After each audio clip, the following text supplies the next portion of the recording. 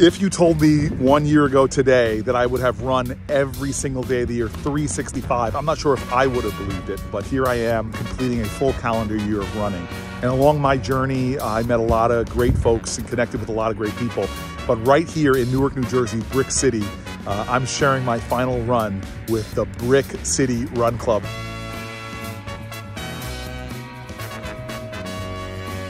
But I've learned one lesson uh, for myself, and I think it applies to all of us.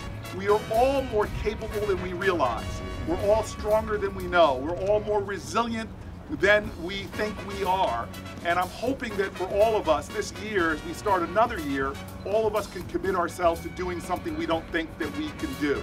Not because of ourselves, and this is the wonderful thing about life, is anytime you have a personal breakthrough, you become a point of light that illuminates the path for other people and the better vessel you can be for health, well-being, fitness, and love, the more you're going to help to create that in a world that needs more of you, more of your best self. Well, thank you to everybody who's inspired me, especially Brick City Run Club. Thank you.